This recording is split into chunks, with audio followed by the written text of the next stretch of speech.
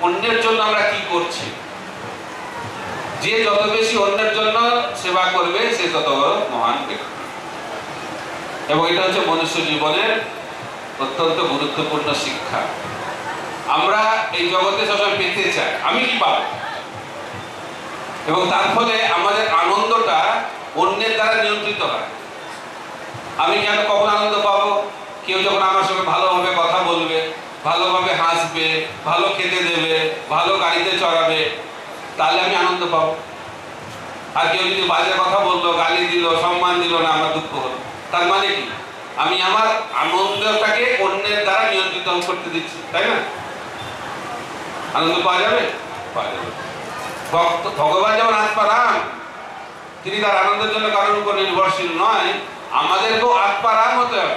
তা নাহলে আমরা আনন্দ পাবো না। অর্থাৎ আমাদের আনন্দের জন্য অন্য কারোর উপর যেন আমরা নির্ভরশীল না হই। আনন্দ যেন আমাদের কারও দ্বারা নিয়ন্ত্রিত না হয়। তা আমাদেরকে কি করতে হবে? আমি অন্যের কাছ থেকে কি পাবো?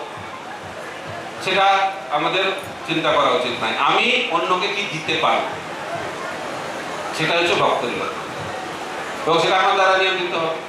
আমি কাউকে কি দেবো? সেটা আমার দ্বারা নিয়ন্ত্রিত। এটা হচ্ছে ভক্ত।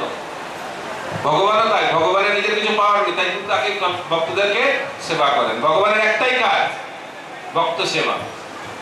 ঠিক একইভাবে ভক্তদেরও একটাই কাজ হওয়া উচিত, ভগবানের সেবা। আর ভগবান সম্পর্কিত যারা রয়েছে তাদের সেবা করা। এইভাবে যখন আমাদের জীবনকে আমরা ব্যালেন্স করব, তখন দেখা যাবে যে আমরা এই জীবনে খুব আনন্দভাবে জীবনযাপন করতে পারব। এবং এই জীবনের শেষে আমরা নিত্য আনন্দময় জীবনে প্রবেশ অধিকার লাভ করতে এই বলে আমি আমার বক্তব্য সমাপ্ত করছি।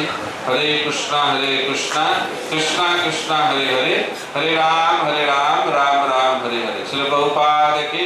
সমবেত গৌর ভক্তবৃন্দ কি?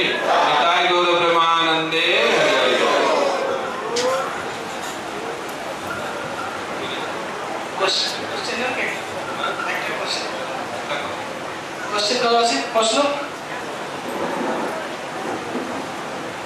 একজন প্রশ্ন করতে পারে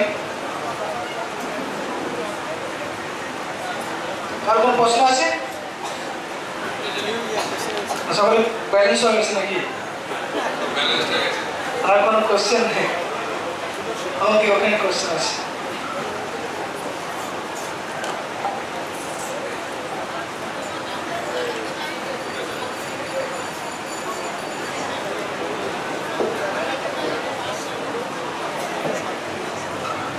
ধন্যবাদ খুব ভালো কৃষ্ণ যে আপনি বললেন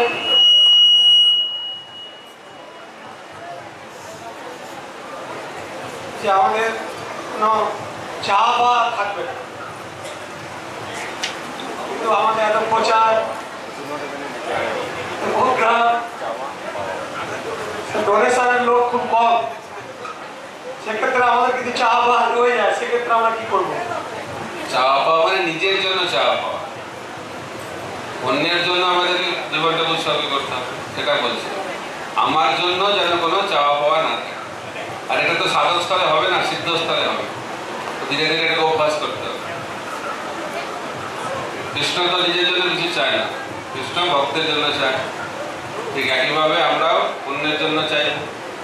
অন্যের যাতে মঙ্গল হয়, সেটা হচ্ছে ভক্তের ঠিক আছে? নিজের স্বার্থ যেন জড়িত না থাকে। তাহলে এটা কৃষ্ণ ভক্তি বোঝা গেল? খুশি হয়েছেন? হরে কৃষ্ণ আর কোনো প্রশ্ন আছে।